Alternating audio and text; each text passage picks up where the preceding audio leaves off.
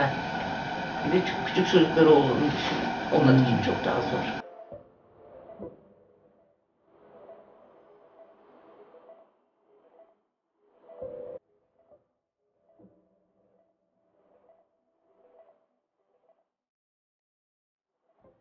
Kızın gözleri daha mı mavi ya? Vallahi bilmiyorum. İkisinin gözleri de öyle. Burada şey Evet. takmış. Papyon. 20 saat gerek. Torunlar gördün mü? Evet evet gördüm onu. İpek'te de tütü vardı galiba. Evet.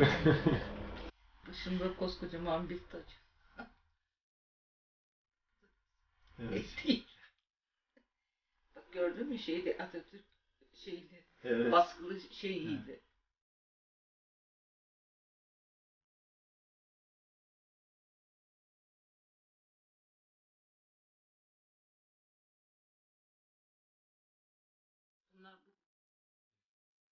Bayram özel çekimi. Günlük, hayır, günlük fotoğrafları akşam servis ediyor bana.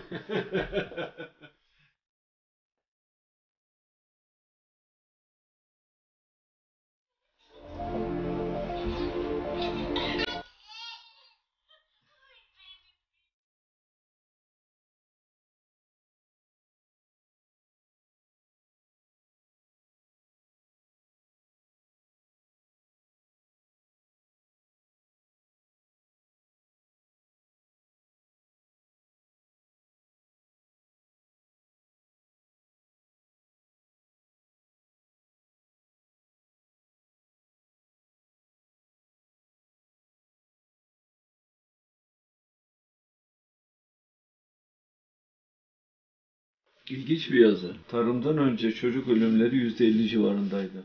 Ortalama yaşam beklentisi 35. Oo. Uygarlıkla tanıştıktan sonra bile çocuk ölümleri 19. yüzyıla kadar yüksek olmaya seyretti. 19. yüzyılda salgın hastalıklar ve kıtlıklar nedeniyle ortalama ömür 30'lu yaşlara kadar geriledi. Daha sonra 200 yıl daha iyi beslenme, tıbbi gelişmeler %1'e kadar düşüyor. 30'a ölümler düşüyor.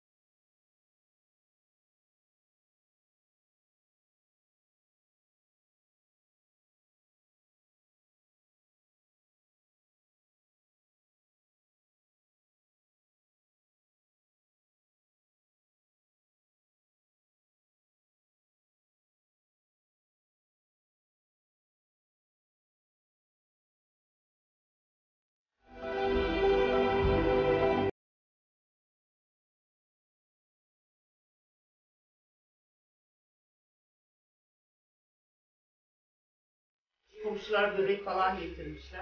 Yani her türlü şeyi yardımı yapıyorlar. Ya sağ Evet, olsunlar. evet. O kadar Gerçekten hani şey, Komşularımız o konuda Hiç bak komşuların getirdiği şeylerden alın. Güzel yaptırmış yani hepsi.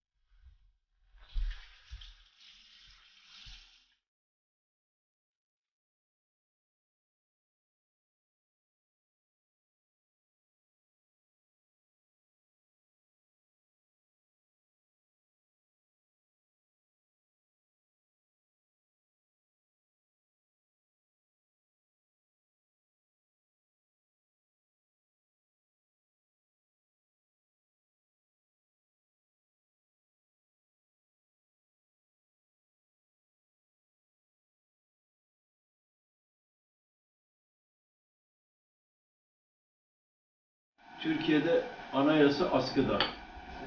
Hukuk sistemi askıda. Yargı siyasetin emrinde. E, dolayısıyla e, adalet dediğiniz kavram neredeyse Türkiye'de yok oldu. E, o zaman bizim e, bütün bu haksızlıklara karşı direnmemiz gerekiyor.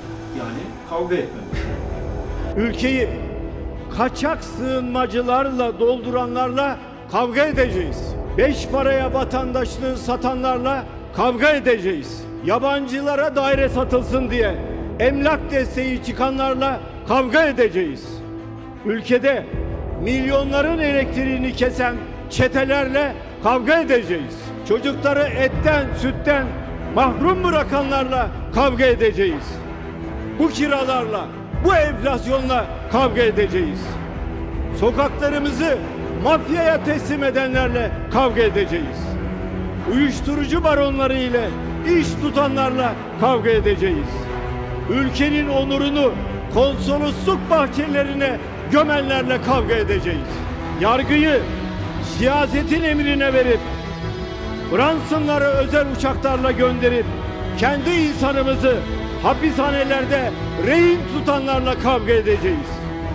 Halkın milyarlarını, alın terini arka kapıdan satanlarla kavga edeceğiz. Yani özetle vatanı satanlarla kavga edeceğiz.